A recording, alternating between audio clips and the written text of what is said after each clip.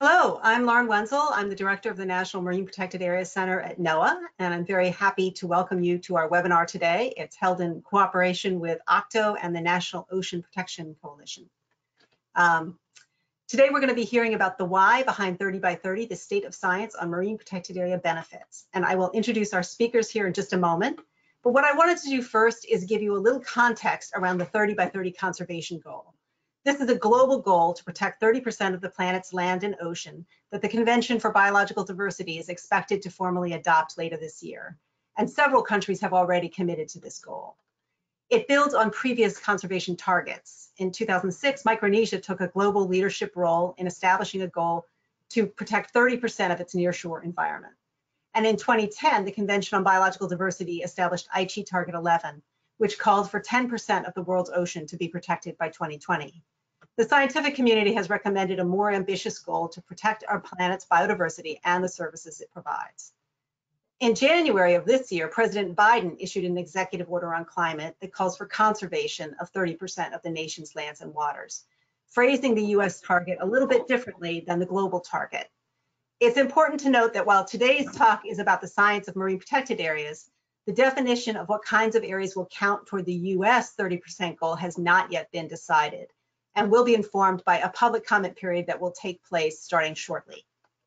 So now it's my pleasure to introduce today's speakers, uh, Sara Maxwell, Juan Mayorga, and Anne Guerry. And I will give you a little bit of background on each of them. Dr. Sara Maxwell is an assistant professor at the University of Washington on the Bothell campus at the School of Interdisciplinary Arts and Sciences, where she leads the Marine Sustainability Ecology Lab. Her research focuses on the development of science-based solutions to the conservation and management issues in the ocean, and her expertise is on the application of spatial tools such as satellite tracking and oceanographic modeling. Juan Mayorga is a marine scientist and conservationist dedicated to make a difference for the protection, sustainable use, and understanding of our oceans. Juan's emerging ocean monitoring technologies in combination with uh, marine ecology, fisheries science, and economics to glean insights into our oceans, socio-ecological systems, and inform conservation policy. Currently, Juan leads a partnership between the National Geographic Society's Pristine Seas Project and the Environmental Market Solutions Lab at UC Santa Barbara. And Dr. Anne Guerry is the Chief Strategy Officer and Lead Scientist at the Natural Capital Project at Stanford University. She spearheads the Sustainable Livable Cities program and co-leads NatCap's Marine and Coastal program. Before working at NatCap, she was a National Research Council Fellow at NOAA's Northwest Fisheries Science Center in Seattle. She received her PhD in zoology from Oregon State University and is fascinated by the relationship between people and nature. So um, welcome, all of you. Really excited to be uh, hearing from you today, and I will turn it over to Sara. Awesome. Thank you, Lauren. Um, I'm so excited to be here to be giving this presentation. Um, and so my role today, a little bit smaller. Okay, my role today is going to be um, just kind of framing this uh, presentation today or our, our, overall seminar, I'll be talking a little bit about what is an MPA, um, what are benefits that can be derived from MPAs, um, how these benefits can be achieved, um, a little bit about large marine protected areas, and then um, I want to talk about something a little bit new, um, the idea of mobile marine protected areas. It's something I'm really excited about and um, something that I think can add some interesting sort of food for thought to the 30 by 30 discussion. So just so we're all on the same page um, to start, what is a marine protected area? The IUCN definition is a clearly defined geographical space, recognized, dedicated, and managed through legal or other effective means to achieve the long-term conservation of nature with associated ecosystem services and cultural values. Um, this definition is also used by the US um, as part of an effort to align um, US MPA work um, better with global work on marine protected areas. So what kind of benefits can we see from marine protected areas? Um, there's a whole suite of them, but I think the ones that are um, the, of the most interest to most people are that we see um, increases in number and size of organisms within their boundaries. So for example, Jen Caselle's work showed that there were increases both inside and outside marine protected areas for targeted and non-targeted species um, in the Channel Islands uh, marine protected areas. Um, we see things like increases in species richness and biodiversity benefits. And we also see um, what's known as um, spillover benefits, where there's like an increase in the number and size of MPAs, uh, size of animals, um, both inside and outside MPAs. So the animals that are protected within MPAs kind of spill over into the surrounding area because of the fluid nature of the ocean. Fences don't apply in the marine realm, and so animals can move freely over uh, across boundaries. Um, and this kind of thing sort of makes sense. Um, and it's something that we've seen, for example, in Southern California um, in the lobster fishery, where just a 35% reduction in fishing area led to a 225% increase in catch in just six years. Um, and there are some great papers out there that review a lot of these benefits. So for example, a paper by Sarah Lester in, two, uh, in 2009. Um, and of course, there's a lot of variability um, in the benefits that we see, and I'll get to that in a bit. So where does the US stand as far as um, MPA? Um, how far, MPAs, how far are we from reaching this 30% goal within our waters? Um, and so this map is one from the National Marine Protected Area Center, um, and it shows that according to them, uh, there are, uh, the estimate in June of 2020 was that there are 26% of US waters protected um, under the IUCN definition of, of an MPA. Um, so we still have a little ways to go um, in order to get to that 30% target. But I think one big question is what kind of actual protection does this 26% actually offer? Um, if we go back to our definition of MPA, um, there's some nuance here. Um, what's meant by the protected in protected area? Um, if I were to ask every single one of you that's listening to this call, um, you would have a, a, different definition. Everyone would have a different answer. Um, what does manage mean in terms of human access or uses to uh, uses of an area? Um, does it mean, for example, no commercial fishing? Does it mean no recreational fishing? What about shipping, tourism? Does it mean no access by anyone ever? Um, what does management mean in terms of design? Does it mean that uh, local communities are involved in management? That traditional uses of an area will also be conserved or allowed? And also just more logistical questions like how big do we need an MPA to be in order to conserve and manage whatever we're aiming to protect? And I think what quickly becomes clear is that not all MPAs are created equal. Um, and there are a lot of critical condition, uh, considerations for reaching the 30 by 30, excuse me, the 30 by 30 goal and doing it in an effective and an equitable manner, um, which is something that the Biden-Harris administration has been striving for and is also a critical part of the UN sustainability goals. So thankfully, this has actually been an active area of research for a number of years. Um, there are a number of studies looking at existing MPAs um, and have shown that the best ecological outcomes occur particularly when MPAs are large, so greater than about 100 kilometers squared. When they're old, meaning that benefits really accrue and increase over time, particularly after about 10 years. When MPAs are isolated, whether that be from humans or simply isolated such that the boundaries of them are very clear um, based on other um, ecological uh, markers when they're well protected, so ideally there are no extractive activities, so also known as no take, um, and also well enforced. And something else we see, and I'm sure Anne will talk about this more, is that equitable management also leads to um, better ecological outcomes. Um, when we apply co-management to marine protected areas, uh, when stakeholders participate in both the design and management and monitoring of MPAs, um, and when institutional design principles are put into practice. These are the Ostrom principles, if you've heard about the, heard about those before, things like clearly defined boundaries, collective choice arrangements, conflict resolution mechanisms being put into place, etc. So we know a decent about a decent amount about what works and what also doesn't in terms of MPAs having strong ecological outcomes.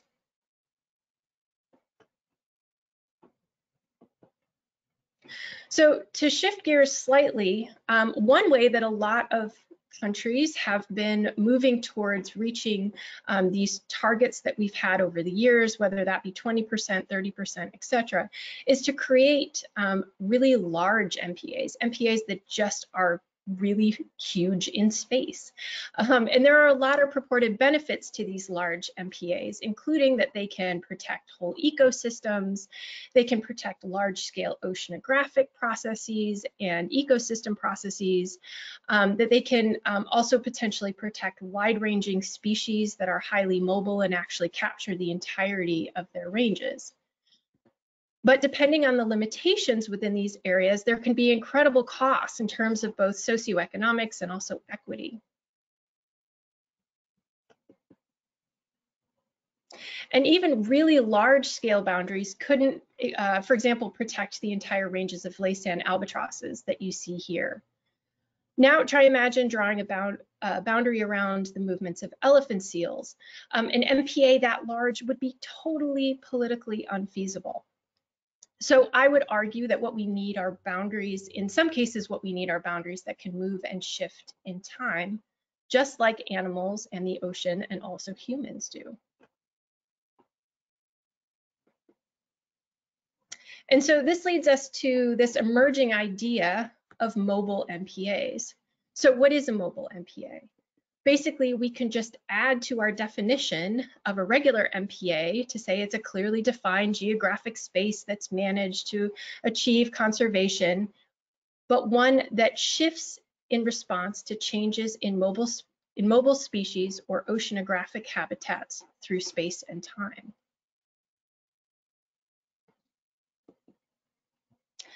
And I personally think that the most compelling argument for mobile MPAs um, is that they will become almost imperative under climate change. Um, let's not forget the executive order. Um, the whole point of the executive order, order is to tackle the climate crisis. Um, it's about safeguarding against climate change and using MPAs as a way to do that. So what happens if we set up static MPAs, 30% of US waters, and the things we're aiming to shift or we're aiming to protect simply shift out of the boundaries? And there have been some studies that have looked at the likelihood of that happening.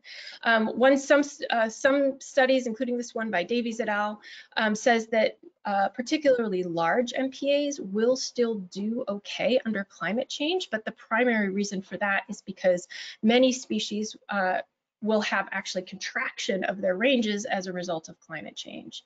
Um, whereas other studies have suggested that MPAs will do quite poorly and particularly in tropical regions. So this is, um, there's some really big considerations here in terms of MPAs and climate change. So I would argue that in some instances, protected areas that are mobile in space and time just makes sense in a lot of ways. Um, mobile MPAs could protect these dynamic um, oceanographic habitats or species that are likely to see really big shifts under climate change. Um, they could protect um, connectivity corridors between static MPAs and kind of future-proof them against climate shifts.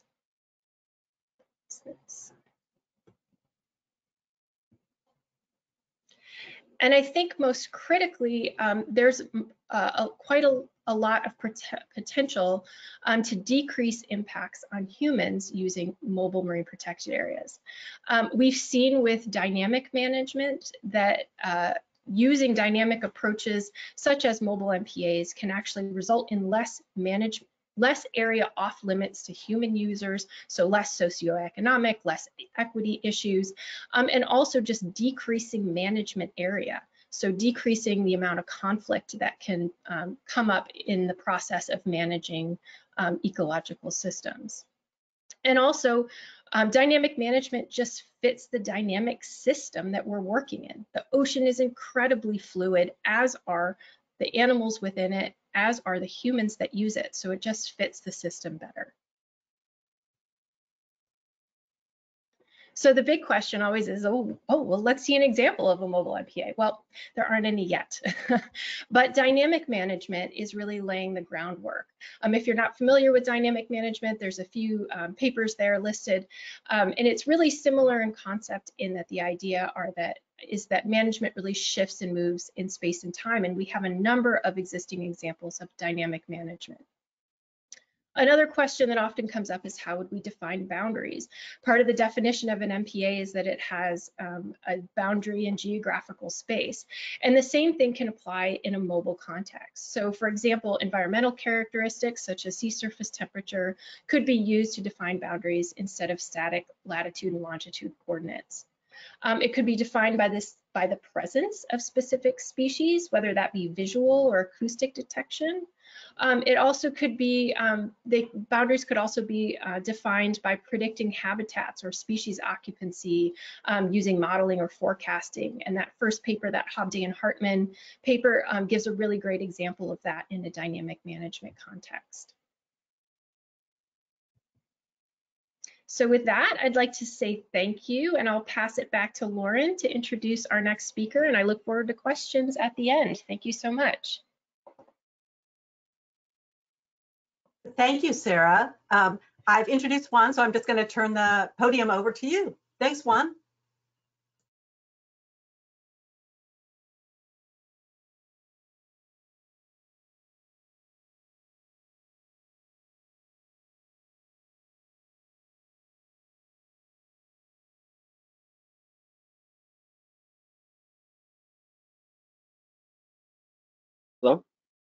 I hope everyone can see my screen okay.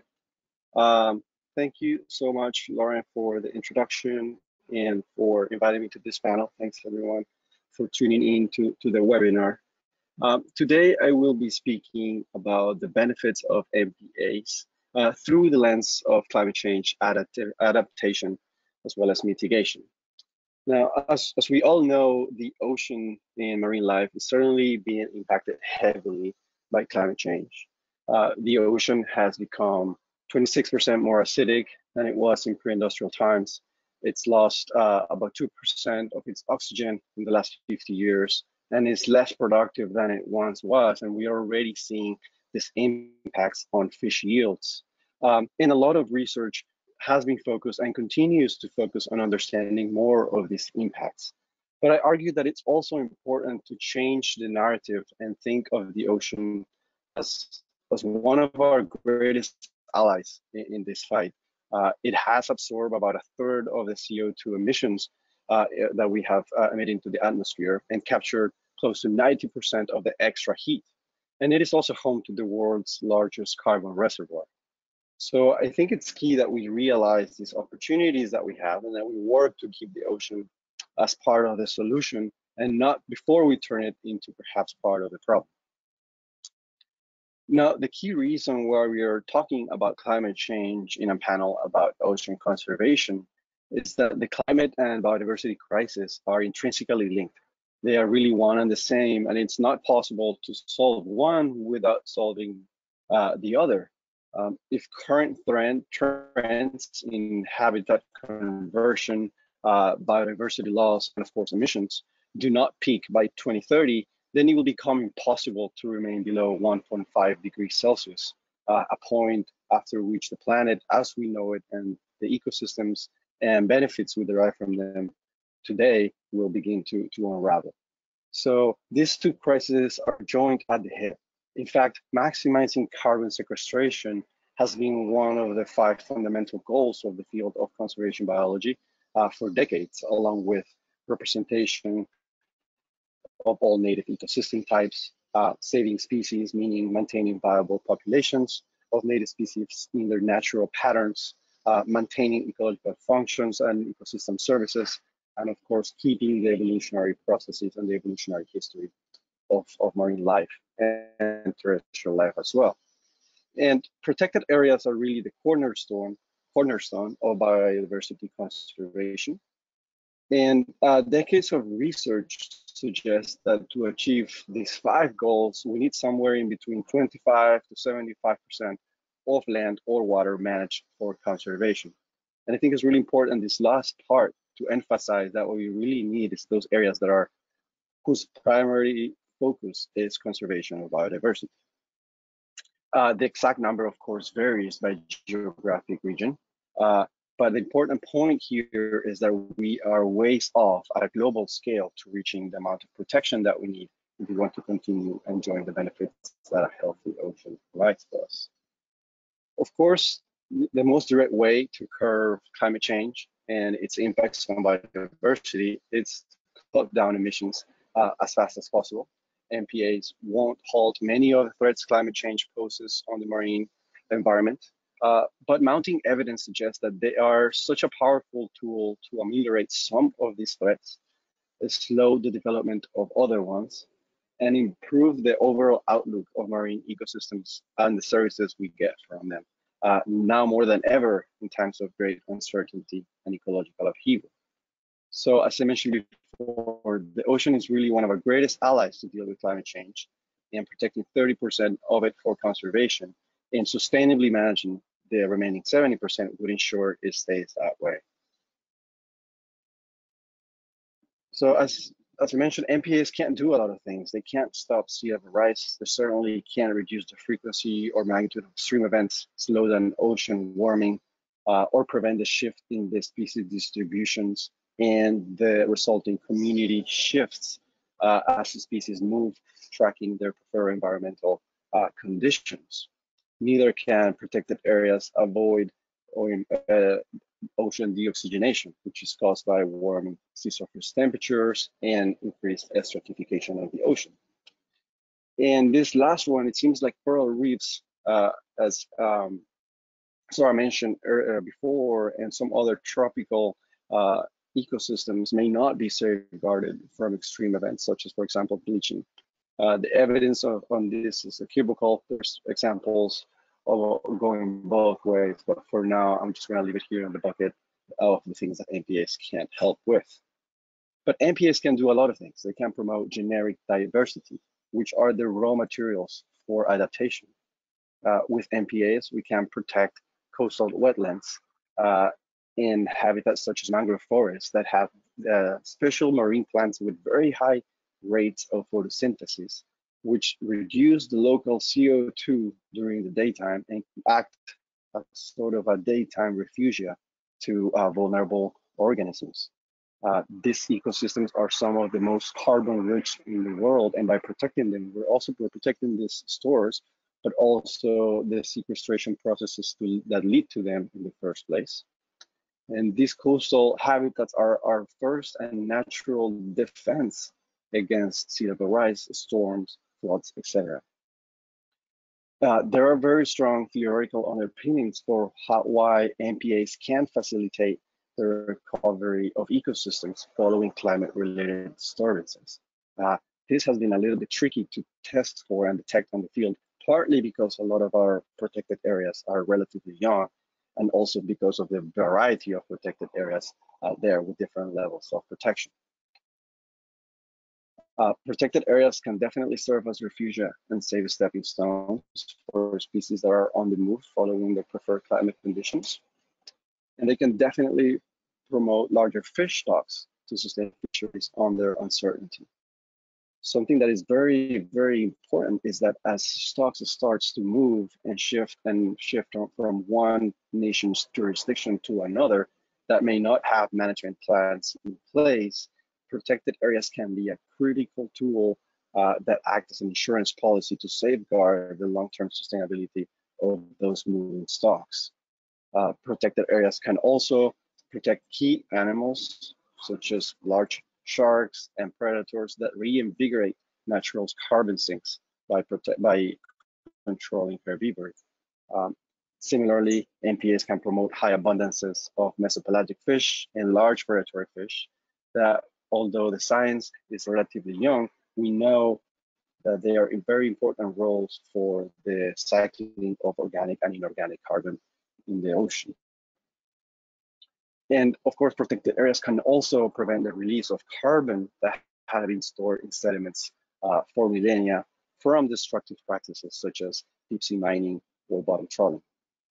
And uh, last but not least, MPAs are our insurance policy against inadequate management, but also unexpected uh, consequences of, of climate change. They are a way to imbue the precautionary principle into ocean management. And uh, I'm not saying that MPAs are a substitute to curbing greenhouse gas emissions, nor can they on their own ensure that marine protect, uh, biodiversity thrives. We also need effective fisheries management and pollution control and other management actions. But given the bundle and the, the benefits that MPAs can provide, they're one of the most cost-effective tools that we have to increase human and environmental uh, well-being. Now, for the last couple of minutes of the talk, I want to shift gears a bit and share a closer look at the second to last item, uh, in particular, the overlooked impacts of bottom trawling on carbon stocks. Uh, this is part of a research project and paper that we recently published, where we presented a new framework to integrate um, carbon protection and fisheries replenishment with biodiversity conservation and identify what are the global priorities for ocean conservation uh, as we move into the next into, into this next decade. But to do this, we first needed to create a map of the global carbon, uh, a map of carbon uh, that is stored in the first meter of ocean sediments. Uh, and this is the map that I'm showing in this slide, which was built collating thousands and thousands of data points from sediment core samples taken around the world. And not surprisingly, we found that the first meter of the ocean floor stores more than twice the carbon that all of the terrestrial soils combined. Uh, but this map on its own doesn't really tell us anything about priorities uh, for conservation. We also need to understand and know how the human impacts that uh, we can abate with protected areas are distributed in space. So next, we then used uh, high resolution vessel tracking data to understand the extent and the intensity of bottom trawling around the world. And in combination with information on the width of the of the nets that they drag over the seafloor, the penetration depth of those of those nets uh, on the on the sediments, uh, what type of sediments is being trawled over. Uh, it's important because it determines uh, the fraction of the carbon there that is labile, meaning it's more readily metabolized into into CO2, as well as other physical characteristics of the ocean in which this activity is happening. And with all of those things combined, we produce this map uh, that I'm showing here that tells us the, the fraction of the carbon stored in each one kilometer square pixel that is uh, remineralized into aqueous CO2, CO2 in the water column following disturbance from, from trawling. And as you can see, this map is quite hard to, to see because the, actually the footprint, the spatial footprint of bottom trawling is relatively small. Uh, it covers less than 5 million square kilometers each year around the world, and it's about 1.2% of the ocean is trawled each year. Yet, this disturbance, we estimate, uh, generates between 0.6 and 1.4 billion tons of CO2 uh, released into the water column. Now, as a reference point, the global aviation industry emits about 1 billion ton directly into the atmosphere. And even though these are not directly comparable, because uh, here we're talking about CO2 staying in the water, um, it does gives us a good idea of the magnitude and the importance that this uh, might might have that we have uh, overlooked before.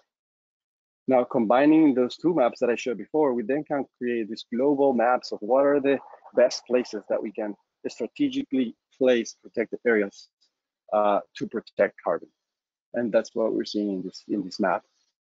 Uh, in light blue, we have the uh, existing highly protected areas of the world that cover a little bit less than 3% of the planet. And in very dark and very bright yellow, we have the next priority areas to protect if we wanted to reach 5% of the global ocean under high protection for carbon. Then the, the next color that is bright green is the next 5%. We wanted to reach 10%, and so on and so forth. Now, as I mentioned before, this carbon uh, work is part of a larger uh, project in which we also wanted to look at places where MPAs can be strategically placed for biodiversity and for fisheries. So this next map shows the places where MPAs would be the most effective at protecting biodiversity. And this includes minimizing the species extinction risk, evolutionary distinctive, distinct, distinctiveness, the functional roles of species. And the color scheme here is the same. And this is the map that tells us the places that we can strategically place MPAs to maximize the, the effect that they can have on replenishing overfished uh, fisheries. But perhaps I think the greatest contribution of this work is to be able to combine all of these objectives or really any other set of objectives that one could have and plan and optimize for them simultaneously. And one example of that is this map that shows uh, the priorities for conservation if we were to value biodiversity, carbon, and fisheries uh, the same. Um, so with that, I will end this this this talk. Thank you so much, everyone, for paying attention, and uh, looking forward to your questions uh, in a little bit. I will hand it back uh, to Lauren.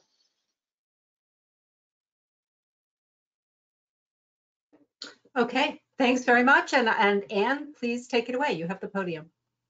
All right, thanks. Thanks to the organizers for the invitation to talk today and to Sara and Juan for great presentations so far. So my charge is to, um, hold on, I'm just seeing, all right, here we go. My charge is to talk about MPAs and people. So these two images, a painting of George Floyd and a graph of carbon dioxide in the atmosphere over the last 800,000 years, speak volumes. To me, they're emblematic of our time. They're fundamentally linked because they tell the stories of profoundly ruinous systems and the need for wide-scale transformation. They speak to the need for different kinds of thinking and different ways of doing things. And they both highlight careful consideration of equity and the importance of thinking beyond the short term, both in terms of looking forward and back. But change is hard. So we can look for win-win solutions um, as much as possible uh, in a sort of a rising tides floating all boats kind of way. As systems change, some people will lose things that they're accustomed to. But if we strive for a just and sustainable future, we'll look out in particular for the most vulnerable amongst us, not the loudest or the most powerful. We'll engage diverse voices to look for just and equitable solutions. My colleagues at the Stockholm Resilience Center have thought a lot about transformations. In the US in particular now, with a new administration, we have a window of opportunity to affect large scale change. We're at the point where we need to keep preparing for transformation by opening up new trajectories and beta testing alternative solutions so that we can begin navigating the transition, launching new initiatives and scaling up innovations. We've got to do the hard work of moving this ball up the hill. One window of opportunity is the executive order on 30 by 30. I'm not going to talk about scientific support for the 30 by 30 goal. One can argue about 30%, its origins and its justification. But rather, I'll focus on the connections between the health of people and communities and the health of the ecosystems on which we all depend. I'll focus on understanding and communicating ecosystem services or the benefits that people get from nature and how that can open up new trajectories so that we can get that ball moving up the hill. So here's my primary argument. A focus on ecosystem services can help accomplish three critical things.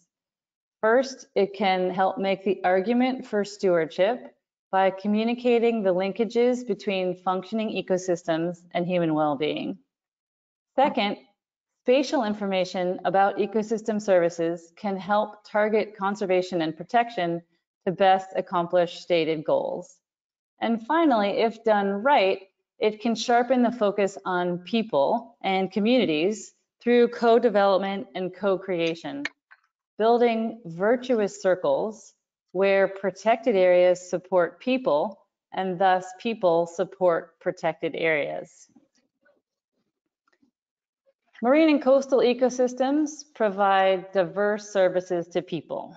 For example, globally, 3 billion people rely on seafood as a primary source of protein. Coastal and marine tourism supports more than 6.5 million jobs globally. Hazard risk reduction benefits of US coral reefs have just been shown to exceed $1.8 billion a year. As Juan was just talking about, the ocean has absorbed the equivalent of 39% of carbon emissions since 1750, significantly mitigate, mitigating increases in atmospheric CO2 and its associated warming. Healthy coastal ecosystems can reduce exposure to pathogens of humans, fish, and invertebrates. Oceans serve as a reservoir of genetic diversity, providing resilience and chemicals important in pharmaceuticals and other kinds of things. And then of course, there's all those unquantifiable things like education, livelihoods, and inspiration. Digging deeper into just one of those, fisheries, it's important to think about who benefits from these different services. Different communities can depend on different services in very different ways. For example, coastal indigenous peoples consume about 2.1 million metric tons of seafood per year, with consumption per capita 15 times higher than non-indigenous country populations. So in red here is the global mean, and then there's consumption per capita for coastal indigenous peoples in different regions. So the who really matters here. Of course, as systems are degraded, so too are the benefits that they provide to people, unsurprisingly. So for example, unsustainable fishing practices have resulted in depletion of wild fish populations. And another example, destruction of coastal habitats along US coastlines would double the risk to people from coastal hazards. My organization, the Natural Capital Project, pioneers science, technology, and partnerships that enable people and nature to thrive. Fundamentally, we work with partners around the world to use understanding of nature's benefits to people to target investments in nature that improve the well-being of both people and nature. So I've spent most of my career thinking about shades of gray, not simply the black and white of protected areas versus working land or seascapes, but about the whole spectrum of social ecological systems from relatively wild to intensive use. Thinking about how to arrange and rearrange human activities to minimize damage to ecological systems so that they can continue to support biodiversity and to provide for people today and in the long term. So with that critical context in mind, marine protected areas are an important tool within the broader scheme of marine planning. As Sara showed, we've got about 7.9% of the global ocean in protected areas today, with about 2.7% in highly protected areas. And MPAs can help protect ecosystems and the services they provide to people. As Sara showed, biological impacts of MPAs are well described and in many cases not particularly surprising. The social impacts, however, are less clear. So for example, Mike Mascia and colleagues reviewed the literature for the social impacts of MPAs in 2010 and found that food security was stable or increased in regions with MPAs, particularly older and smaller MPAs, and that resource rights improved. They didn't find enough data to be able to assess impacts on employment, community organization, or income. Natalie Ban and her team took advantage of an explosion of studies and explored similar impacts nine years later.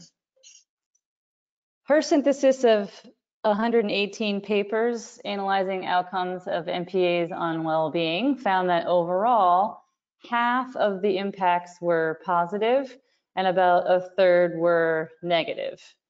Notably, catch per unit effort and community involvement were often positively associated with MPAs, and the costs of fishing and conflict were negatively associated with MPAs. Sliced differently, standouts include community-based MPAs and those with high compliance being more likely to have positive effects.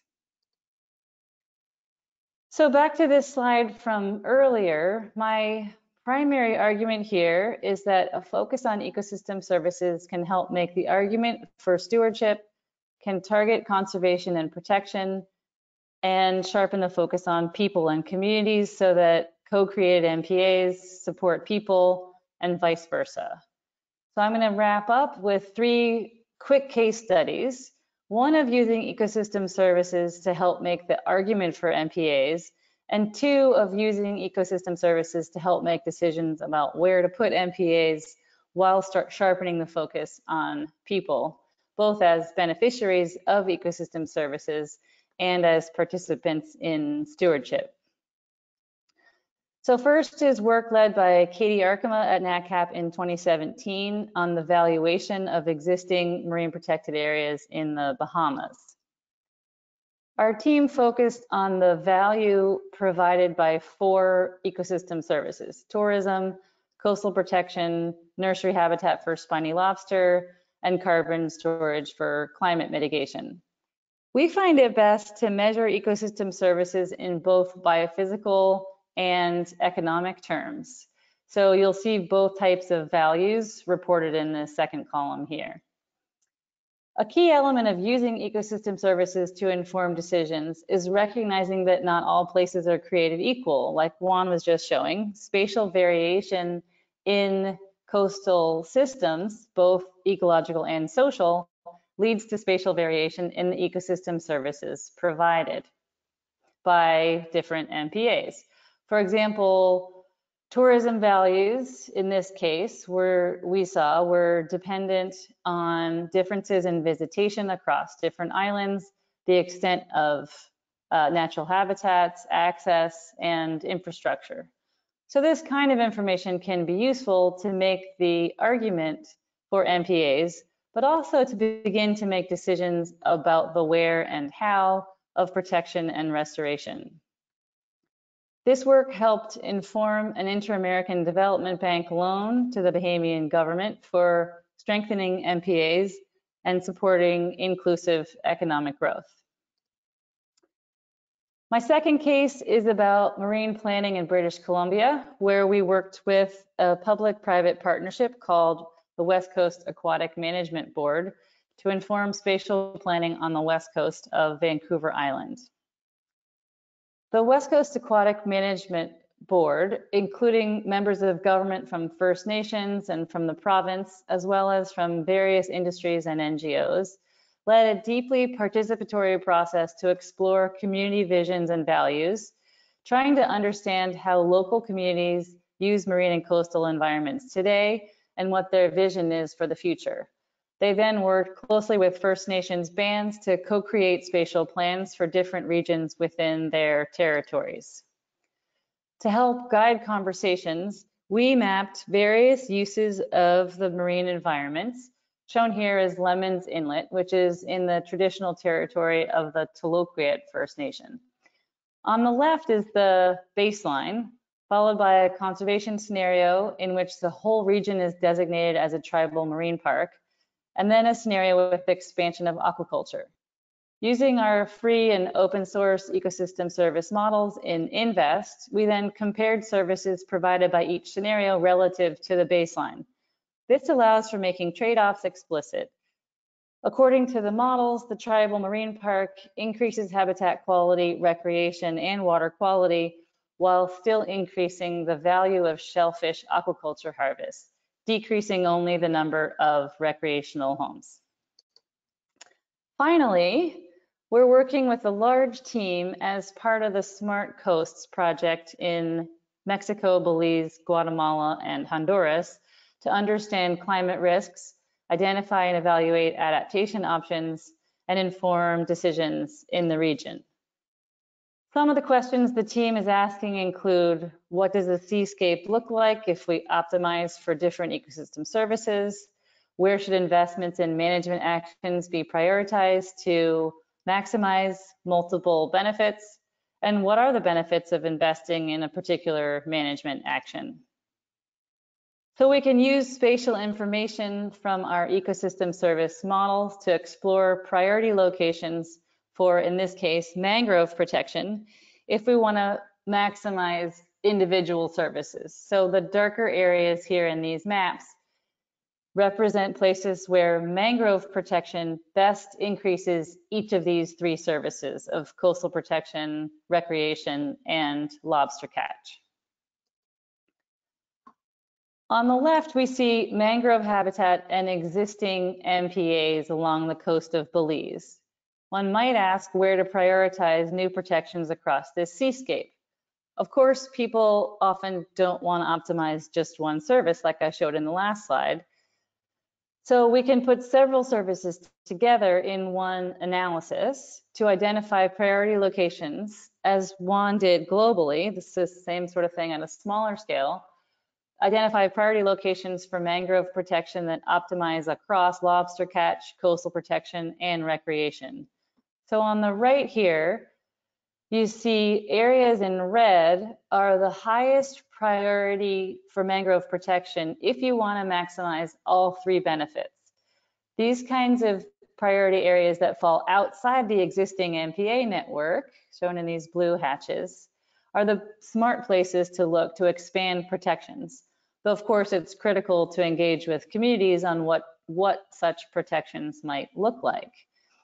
So this is an example of a work in progress that shows how we can use detailed spatial information on and ecosystem service models to prioritize protection of regions that are most likely to benefit both people and nature. So to conclude, um, we've got a window of opportunity to transform aspects of our social ecological system that just aren't tenable.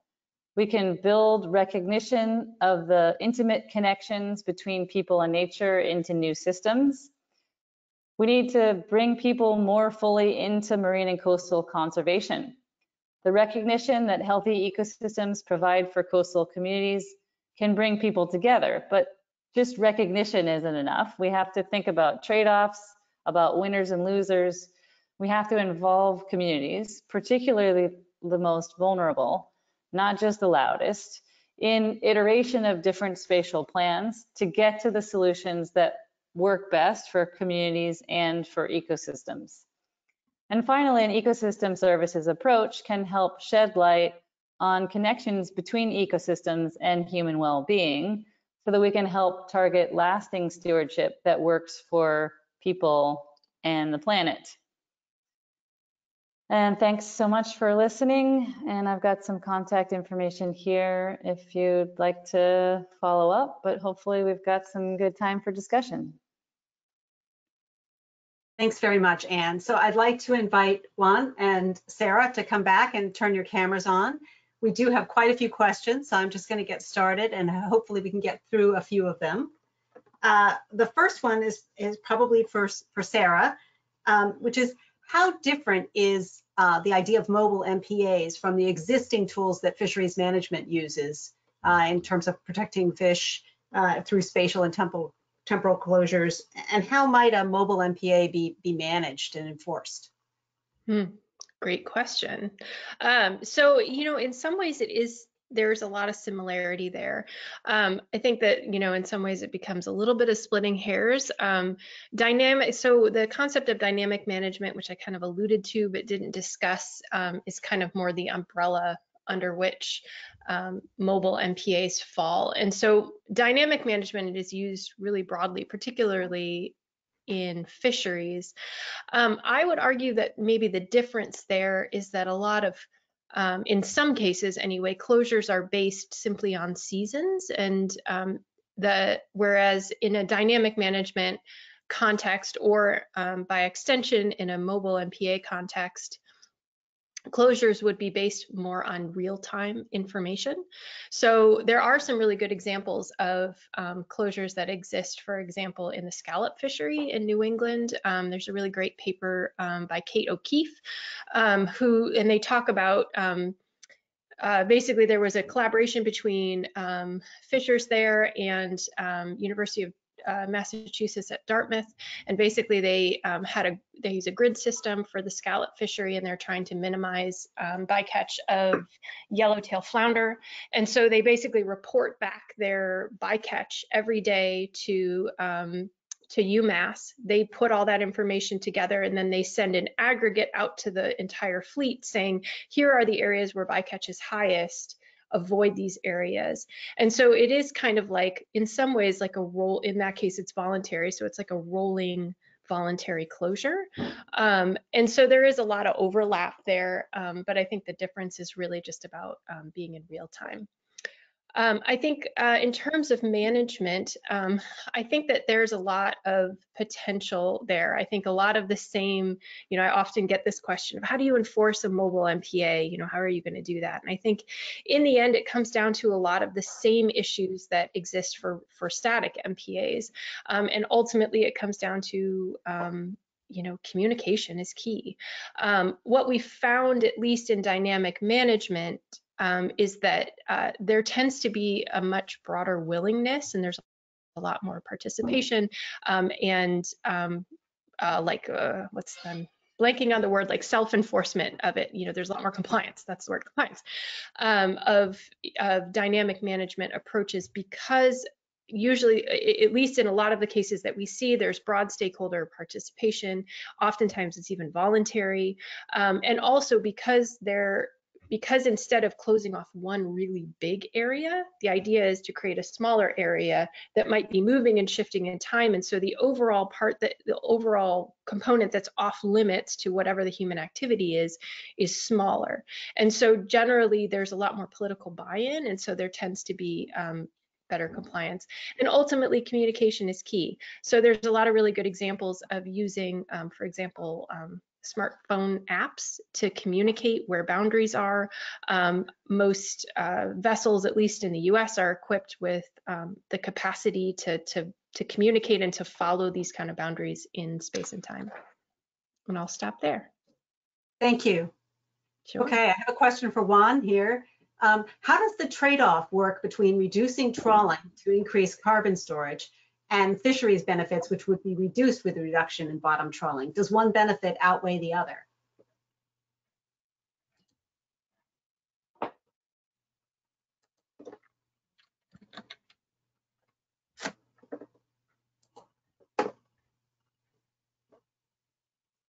Oh, I think, I, I think you're on mute, Juan.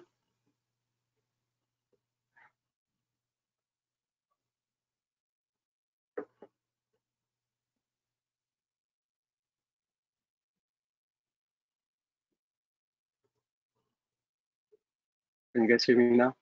Yes. I'm sorry about that. Um, yeah, so no, that's a that's a really good question, and one that be needs to be carefully considered when uh, you know pulling out uh, trawling effort from the ocean. You know, because I one thing that I, I I maybe I forgot to mention is that MPAs alone won't be sufficient to uh, reduce the uh, carbon effects of bottom trawling on their own, right? If all the all they're doing is displacing bottom trawling to the adjacent pixels or the adjacent part of the ocean that may have even higher carbon content.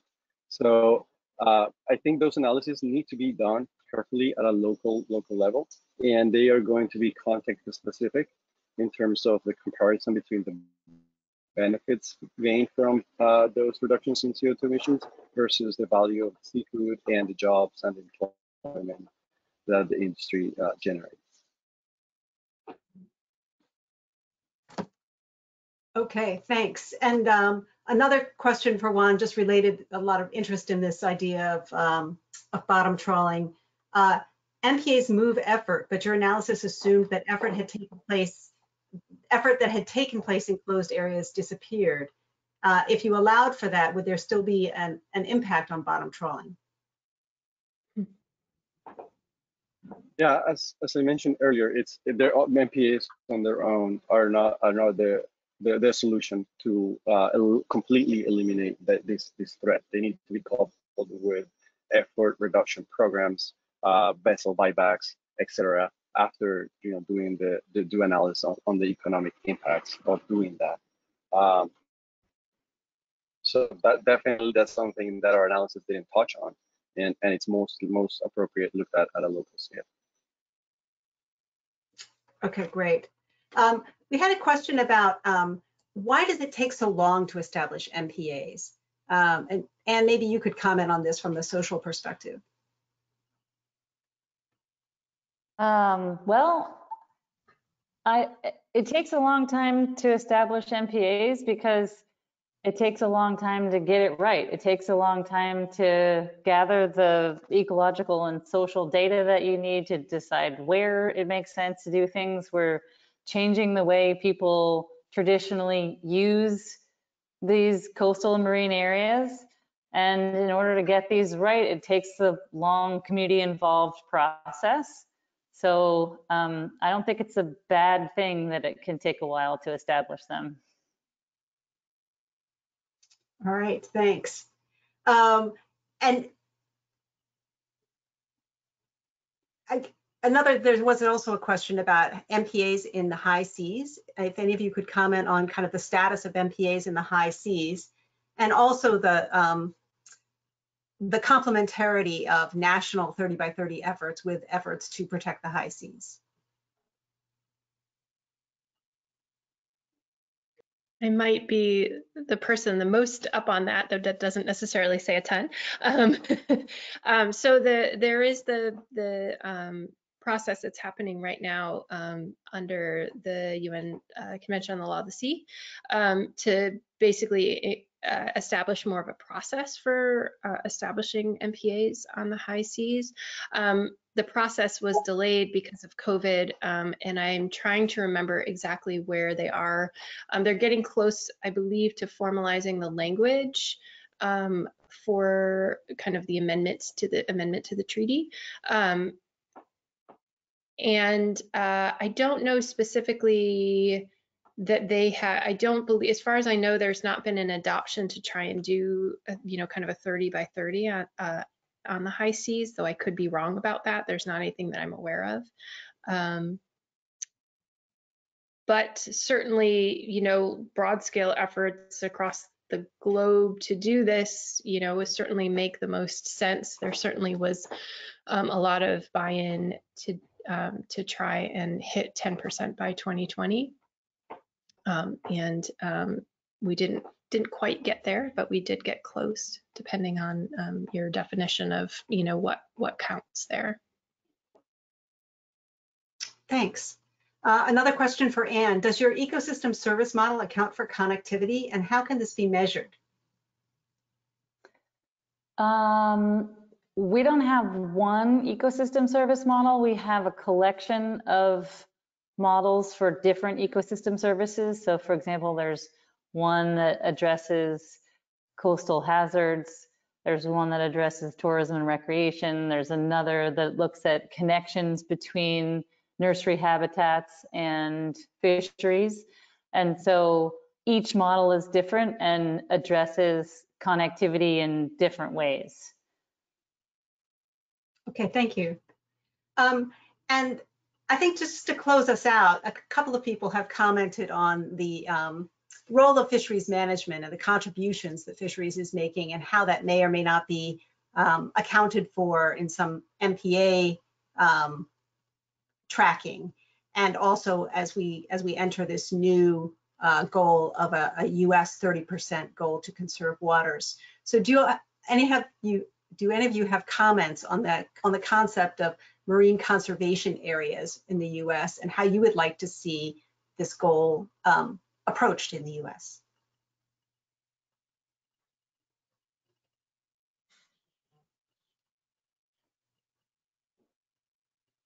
Um, well, I'll just start and say real briefly that I- I think it's very important for us to, like I said in my talk, rethink the way we do things.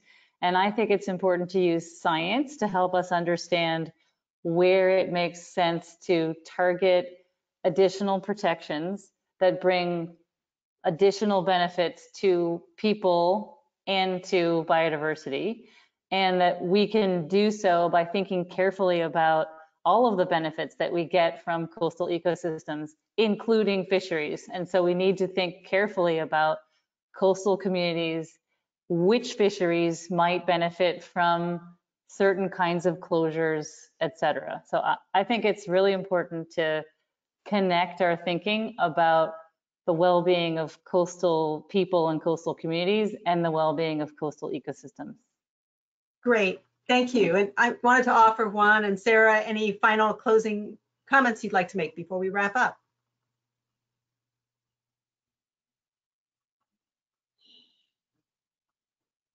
Is there anything you'd like to add? I think I'm good. Thank you. Well, All right,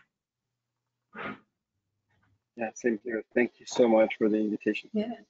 yeah, well, thank you, the three of you, really thought-provoking, uh, very information-rich presentations. We had a great turnout, and I'm sure many people will want to listen to the recording. So if you participated today, or if you came in late, there will be a recording, it will be shared. So feel free to, um, to stay tuned, and that will be mailed out to all of you um, following this, this webinar. So thanks again to our speakers. Thank you. Bye.